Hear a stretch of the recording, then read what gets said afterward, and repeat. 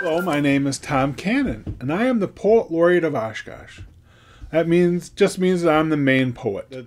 Poetry is an important part of my life, and it should be an important part of your life as well. I would love everyone to try to write their own poem, especially during uh, Poetry Month, which is in April. Uh, writing a poem about something important to you is a great way to be thankful for it. And then when you share it with somebody else and tell the others about this great thing, then you're also being thankful a second time. Now, it could be something you like to do, it could be your favorite pet or your favorite possession.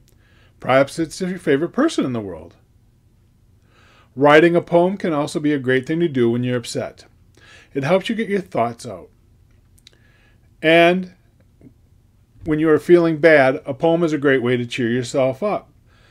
You just a great thing to do is describe all the ways you are strong and smart. And then this poem can remind you the next time that you're feeling sad. This will help you to bounce back to being happy after challenges or tough times. This is called resilience and it's important. And writing a poem can also just be fun.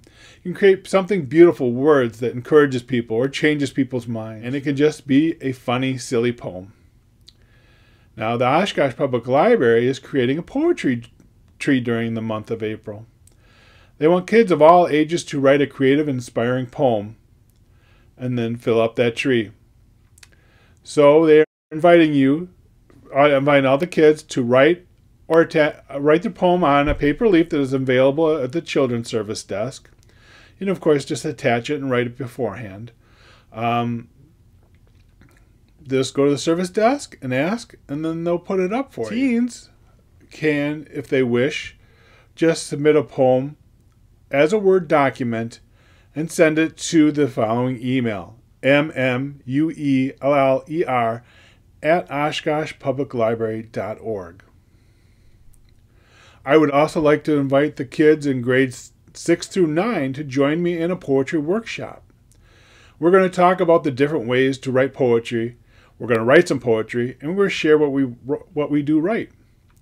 Uh, please join me at the library Saturday, April 2nd from 1 to 2.30. Parents should call 920-236-5208 or stop by the Children's Department, Service Department to reserve a seat. Will be on